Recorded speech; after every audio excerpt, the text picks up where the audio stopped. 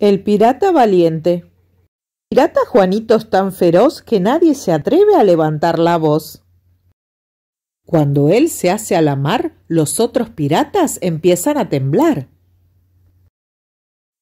A bordo de su enorme bergantín salta sobre las olas como un delfín. Tiene una espada de oro macizo y pincha como un erizo. Allá van él y su loro en busca de un gran tesoro. Mira con su potente catalejo y un barco enemigo ve a lo lejos.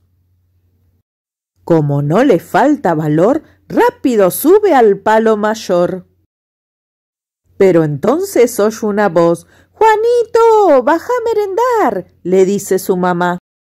En un periquete se quita el parche del ojo, el pañuelo rojo y la pata de palo, y sale corriendo. Y rápido como el viento baja la escalera.